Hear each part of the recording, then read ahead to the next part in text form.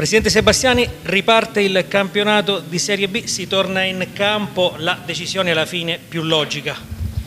La decisione più logica è la decisione che abbiamo spinto uh, anche noi perché comunque sia è l'unico modo per non avere problemi, eh, finendo il campionato le, chiaramente il campo darà i verdetti e quindi a quel punto non ci sarà possibilità per nessuno di, di discutere, quindi questa è una cosa importante. L'unico neo di questa storia è comunque rimane il fatto che si giocherà senza pubblico e chiaramente il calcio senza pubblico non è calcio.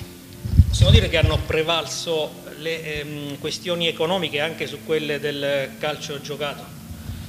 Eh, ma non, non c'è da meravigliarsi perché il calcio non è solo gioco, il calcio è un'azienda, eh, il calcio è una delle aziende più grosse in Italia, quindi come sono ripartite, come ci si è battuti per far ripartire le aziende, era giusto battersi per far ripartire anche il calcio. Si torna in campo, 10 partite da giocare fino al termine della stagione con il Pescara che sarà ehm, chiamato a conquistare sul campo la permanenza, la salvezza. Sì, sì, Pescara dovrà fare eh, le 10 partite come le faranno tutte le altre squadre cercando di fare il meglio possibile. Adesso eh, siamo più vicini alla zona play-out che alla zona play-off, però eh, noi dobbiamo guardare il campionato come se riniziasse da oggi, quindi senza trascurare nulla, cercando di fare il meglio possibile e poi alla fine vedremo dove saremo arrivati.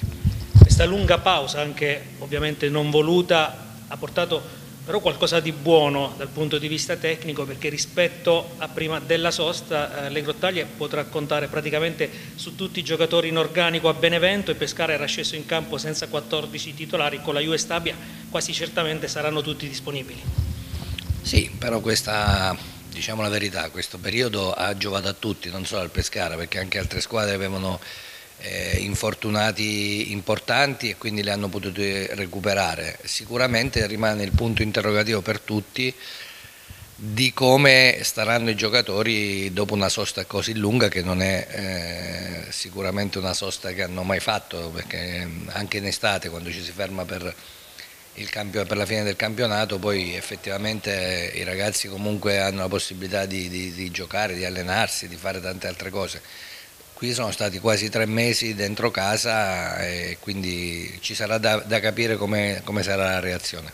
Presidente, si torna in campo il 20 giugno a dieci giorni dalla scadenza dei contratti, perché i contratti dei giocatori scadono il 30 giugno, la scadenza anche di alcuni prestiti. Che cosa accadrà e qual è la sua proposta da Presidente di una società di calcio?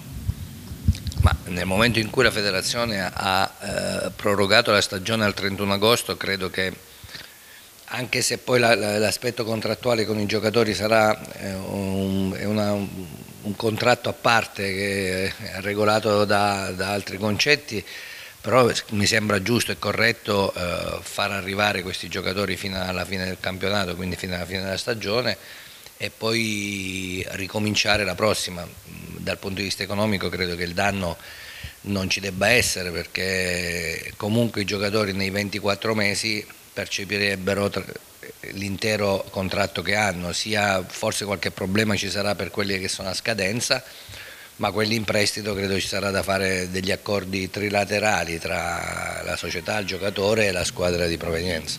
Presidente, parliamo anche un po' della società. Nei mesi scorsi si era parlato anche della possibilità che insomma, potesse entrare qualche imprenditore nel Pescara per affiancare lei e i suoi attuali soci. Qual è la situazione ad oggi? Per il momento è entrato il signor Covid eh, che, ha, che ha acquistato parecchie quote, però al di là di questo, in questo momento credo che sia l'ultimo pensiero degli imprenditori eh, entrare nel Pescara. Per quanto riguarda eh, l'eventuale ricapitalizzazione lo vedremo perché chiaramente eh, subiremo delle perdite e quindi se ci sarà bisogno di liquidità per forza di cosa eh, gli attuali soci dovranno mettere mano al portafoglio, però per il resto al momento è tutto fermo.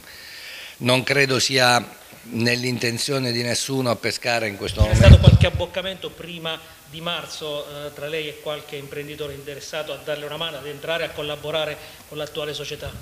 Sì, eh, prima del Covid a pescare era andato un giorno a pesca e avevamo abboccato dei pesci, ma niente di più. Eh, se pensate che che a Pescara possiamo trovare qualcuno interessato al Pescara, come dice un mio amico, se ti piace la fame fai il signore.